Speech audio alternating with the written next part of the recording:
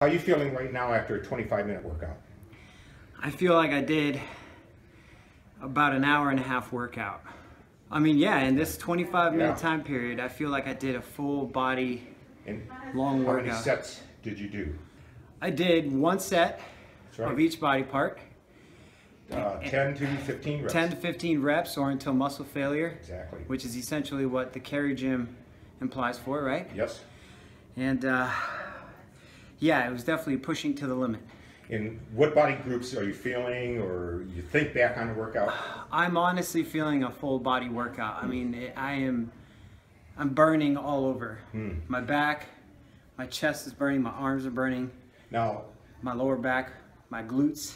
what My about, hamstrings could are- you go through an easy workout if you wanted to? I could definitely go through an easy workout, but you know, at the end of the day, in a 25 minute period, I, I want to essentially push as much as I can. So uh, you could start light and then work your way up to a condition and a part where you're ready to start the hard workouts. Yes, absolutely. I mean, you know, you definitely want to start with one band, but you're gonna get stronger with, with this CarryGym. You're if you do it correctly and you're doing you're following your rule of three seconds up, three seconds down, I mean, your body and your muscles are just only gonna get stronger. I mean, that's just how it works. Especially if you're doing a movement right and you're going to muscle failure, which I'm not really used to. Um, you know, I'll stop myself at a certain amount of reps and a certain amount of weight. And uh, yeah, I just don't feel an hour and a half workout in 25 minutes like I did just now. Right. now, your fiance, would she be able to do exactly the same thing but with different bands? Absolutely. I mean, this is an exercise uh, situation that anybody can do. I mean, I have some shoulder injuries. I have a slip disc on my lower back. And uh, I was really pushing myself there, and I, I didn't really feel the pain from those injuries.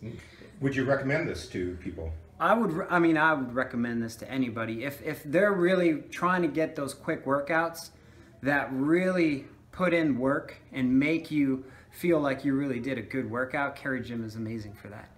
I mean, in 25 minutes, I, I know I'm going to feel this workout tomorrow. Great. So it's, it's a really, really great machine.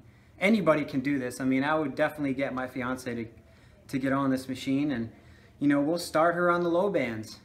But she's gonna, just going to get stronger. Anybody's going to get stronger. What are you most impressed with about the CarryGym? What, honestly, what I'm most impressed with, the CarryGym, is how many exercises you could get in. And you can work out any muscle group. You can just pick any muscle group in your body and you can find one or two workouts, different movements from the CarryGym that you can apply and you can work that out. You know, because you go to the gym, I'll go to the gym, I was like, oh, okay, I'm gonna work out my back. I gotta do three or four different sets of different movements and it's very easy with weights, but with the CarryGym, you could definitely get that in, in any form. I mean, there's so many different movements, so many different exercises that you can do in the CarryGym. It's really impressive.